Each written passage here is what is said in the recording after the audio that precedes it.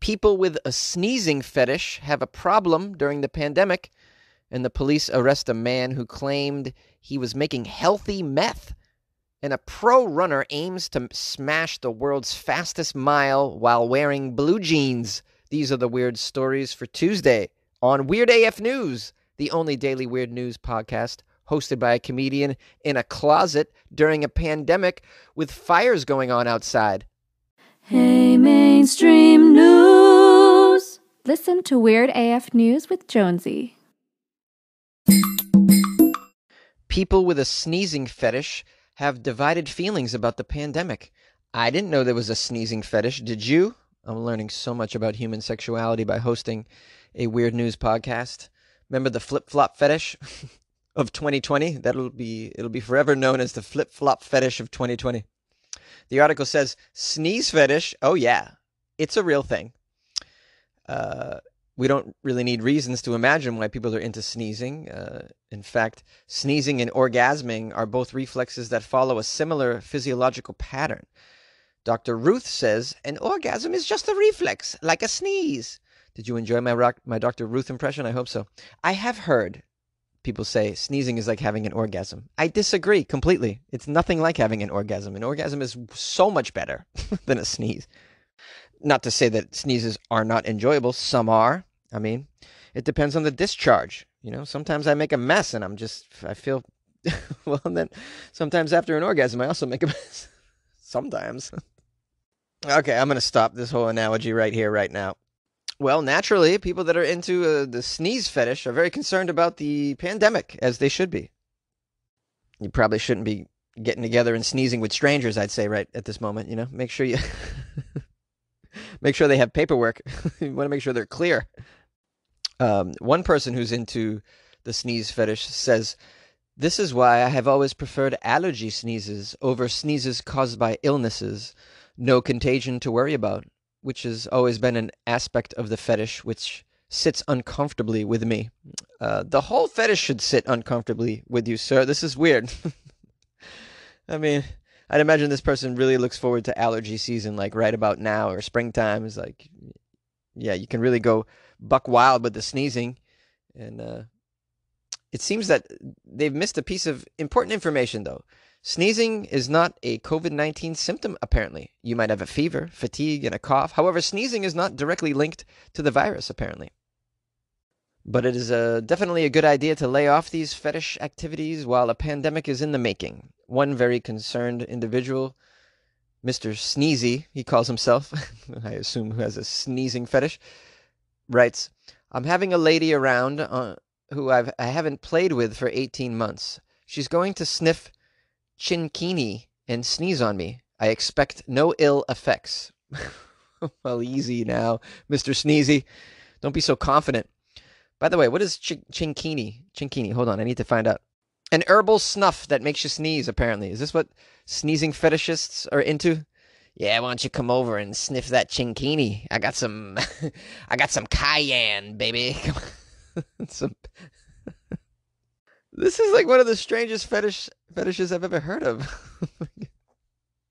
the article says Mr. Sneezy needs to know that sneezing because of sun allergy or chinkini on somebody will most definitely spread the virus regardless. It is crucial to know. And uh, in the end, this produces a dilemma that many, many of us didn't know about before. As one user eloquently puts it, in the fight between the fetish and being infected, what do you choose? Uh, what do you choose? Well, uh, you wait is what you do. I mean, I don't understand why people can't just wait to have their fetish uh, lifestyle turned back on. We're all waiting for various aspects of our life to be turned back on. Just wait, man. Especially the extra shit that you, you know, this is extra stuff. Your little sneeze fetish, your bowling league, you know, I, I mean, your paintball, activities with your friends. I'm doing without softball, okay? Now, I know that's not a fetish, but these are extra things. You don't need to live, you don't need these things to survive. Therefore, just wait, you silly freaks. My opinion. People are just are waiting to to have sex even. People are not having sex. They're waiting and and sex is kind of vital for uh, you know, for people, right? Your little flip flop fetish and your little chickini, chinkini, cayenne pepper, whatever the hell you're into, Kama Sutra, that can wait. I don't know. Maybe I'm out of my mind. You call the show. You tell me if I'm wrong or if I'm right. Or what do you think? I don't know. Tell me about your fetish. I want to. No, please, no pictures, please. 646 450 2012. My darling, I, I can't wait to sneeze on your face, baby. Girl, I don't know, I don't know why. I can't wait to sneeze on your face, baby. The police arrest a man who claimed he was making healthy meth. You know, the healthy meth, the kind with chia seeds in it. a Colorado man is facing drug charges. Police say that he told them he was attempting to create a healthy meth substance with acai berries. acai berries, unbelievable inside a meth lab in his garage. You know, where where all healthy inventions have the their germination in a garage. Although a search of the garage did not turn up any methamphetamine. Oh, that's bizarre. What about the berries? What's this weirdo's name? Craig Williams Rogers, age 49, was arrested on suspicion of controlled substance possession, possession of drug paraphernalia, and unlawful distribution, manufacturing, and dispensing of a controlled substance. Uh, the police officers say they received a tip, including pictures of the meth lab. Rogers was seen leaving the home in a pickup truck, and then he was stopped. He acknowledged that he had meth inside a pipe in the center console of his truck. Yes, that's, that's meth down there, but it's healthy meth. Officers, would you like to take a hit? It has strawberries in it. Strawberries. I've also added a little psyllium husk in the meth. That helps you poop. If you don't know, give it a try. You can use my bathroom, officers. This will make you regular. He admitted he was making meth at home, and he said it was a healthy meth substance because there were acai berries inside it. Booking documents do not indicate if Rogers has an attorney who can speak on his behalf. Yes, who would speak on this maniac's behalf? Oh, someone will, someone will. Your Honor, my client really cares about the community. He's he's sick and tired of this regular meth. He wants the meth to be much more healthy, you know? Meth normally takes about 10 years off your life. My client's trying to add 10 years to your life by, you know, adding some protein powder to his meth, if you notice. Have you smelled his meth, Your Honor? Jury, please, exhibit one. Smell the meth. Doesn't it smell like acai? Sprinkle it on your yogurt in the morning. It's good for you. Investigators did find a berry like substance in his lab. No shit. Adding that there is no possible way to make healthy methamphetamine, though, the deputy said. There's no possible way to make healthy methamphetamine. But what? What? What do you mean? What if you put it in a shake, huh? What about one of those meth smoothies I've been hearing about? No amount of meth is safe, whether it has a berry in it or not, the deputy said. It's a highly addictive, life destroying drug, by the way. That's what the deputy said. But deputy, deputy, haven't you seen people on meth? They they they lose weight. They really do. if you are obese, you know, what you can you can get your whole your whole your entire health regimen can begin with a week on meth. That'll you'll drop 50 pounds and then you're on your way, right? this is terrible. I don't Weird AF News does not condone methamphetamines for losing weight or for any other reason. FYI, FYI. If you want to improve your life, you drop a tab of acid and then meditate. Everybody knows that. You like podcasts? You're listening to my podcast. Maybe you thought to yourself, I'd like to make a podcast. Too difficult. No, not with Anchor. Anchor has free creation tools that allow you to record and edit your podcast from your phone or your computer. Anchor distributes your podcast to Apple, Spotify, Stitcher, and more. They have advertising integration, so you can even make a little money off your podcast. Everything you need to make a podcast in one place. Download the free Anchor app or go to anchor.fm to get started. And good luck with your podcast. Good luck with your creation. Good luck with your life, man. A professional runner is about to smash the world's fastest mile wearing blue jeans. Way to keep your dreams going, buddy.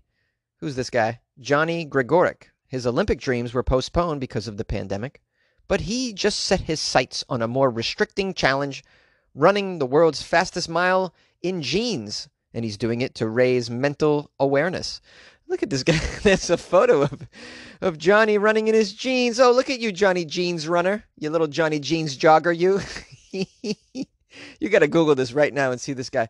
He's got, he's wearing like a, like a tiny little tank top as a runner would wear on top, and then blue jeans on the bottom. he's very serious too. He doesn't screw around. He's Johnny Jeans jogger, right? It's not much harder, he says. Ah, to run in jeans. Really? It's not much harder? Well, you know, his jeans are a little, they're kind of loose and baggy, so they look like um, if you're gonna wear any jeans to run, you know, these kind of this kind of like bell bottom ish pair that he has on, I think that's appropriate. I was hoping it would be like some tight, you know, hipster jeans. That would be hilarious. Uh, but no, no, th- that's harder to run to run in. Johnny, you should up your game and run in those tight ass hipster jeans, man. Like really show us that you're struggling. Come on. See if you can do a mile in those nut huggers, buddy. You want to impress me? Throw on some nut huggers and go around the track, huh, Johnny Blue Jeans? Well, Johnny Blue Jeans is a uh, elite middle distance runner. I have no idea what middle distance is.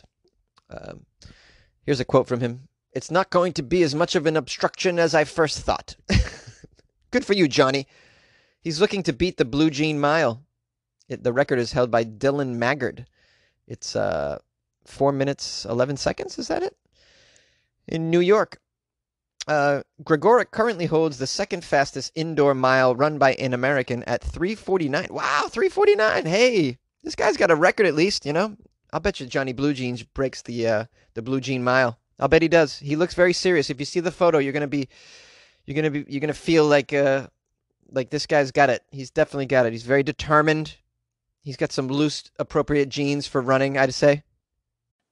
Johnny's got a plan and everything. He says, I've been wearing Levi's Model 501. Not too tight, not too loose. it's your basic fit. It provides, you know, not too much bagginess or weight. It's also a little bit more form fitting, so I'm able to not feel like I'm being impeded in my stride. I want to see you impeded in your stride, dude. Come on, man. Mm, earn it, man. Earn it. in fact, I want to see you run in a ball gown. that's what I want to see. A big flowing gown. Yeah, yeah. That's that's how you really impress me, Johnny Blue Jeans. Or what about if you just throw on like a plush Barney outfit, you know, with the with the head and the tail and the whole bodysuit. I want to see you run a mile in that bad boy. You know, raise money that way. I give I give you more money if you're running in a Barney suit, buddy. the jeans, come on.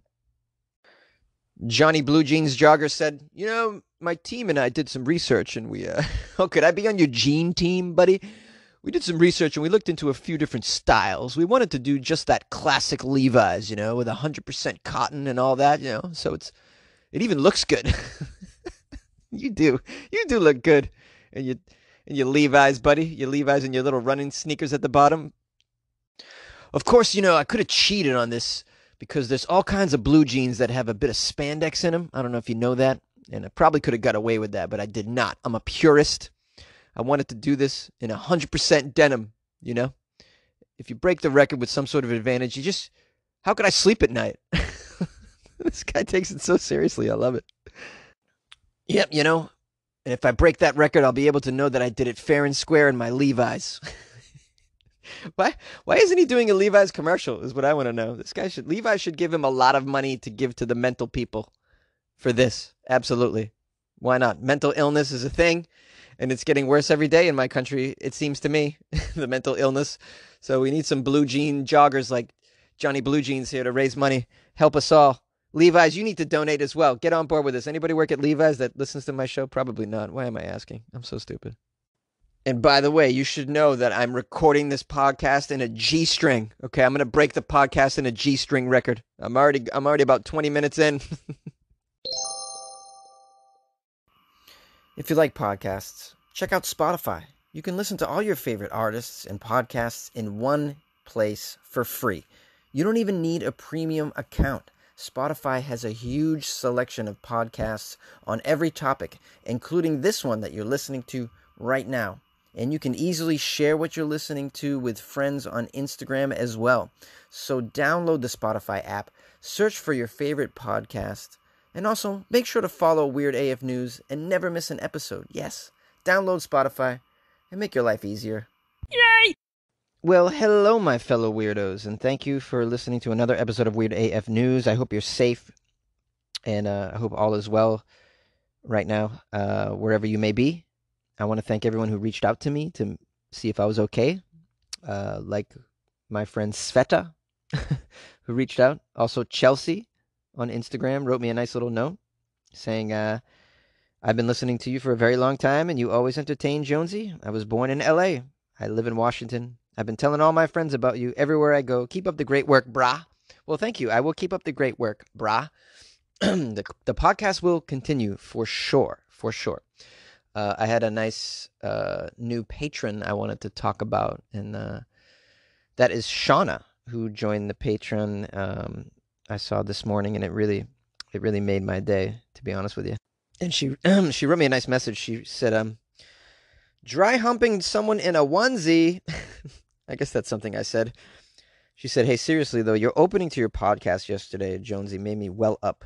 You are so worried about everyone else venting. If you want to vent, I'm a good listener. Take care, Jonesy. Thank you for doing what you do. By the way, your British accent reminds me of Tiny Tim. Please, sir, can I have some more? more? Can I have some more, sir? Uh, she said you should definitely be the narrator of Pride and Prejudice on Audible. that would be amazing if I was. I would totally love to be the narrator of Pride and Prejudice or any Dickens novel, to be to be honest. And then she wrote, Just join the Patreon. I'm so glad to be able to be in a position to pay it forward. And I'm so grateful, Shauna, that you joined the Patreon and that you wrote that. It was a, such a lovely thing to wake up to this morning. I've been waking up to uh, terrible news. So this was nice. It's nice to wake up to a new patron. If you guys want to join the Patreon, it's pretty easy. Patreon.com slash weirdafnews. You can join that way. Or you can send me uh, something on PayPal if you want to buy me a cup of coffee. It's uh, funnyjones at gmail.com. Um, reach out to me on the Instagram, as many people have, to see if I'm okay. It's at Funny Jones, and I, I most of the time I answer. Uh, on on uh, Facebook, comedian Jonesy. On Twitter, at Funny Jones. The email, funnyjones at gmail.com. The phone number, 646 450 2012. The phone lines are always open for you. So please call the show if any of the stories um, resonated with you or you just want to uh, send me a message that you can do that as well uh, or if you want to vent because you're feeling angst over um, over things in life feel free call and uh, call and let me know what's up in your life i am uh, i'm not only the host of the podcast but uh, consider me a friend i'm here for you and uh, yeah we'll keep it like that so i love my uh, my group of weirdos. I really appreciate you guys uh, listening to the show. My numbers have been uh, going up a bit during the pandemic. I noticed, and um, that's you know that's it's encouraging to know that I'm helping people laugh a little bit. I think, um, and uh, offering a healthy alternative to uh, depressing, devastating mainstream news and a pandemic which is going on. So still um, so yeah, I'm happy to do that, and I will continue to to do that, even though I'm going to work tomorrow. so, uh, but don't worry, I'll figure it out. I'll figure it out.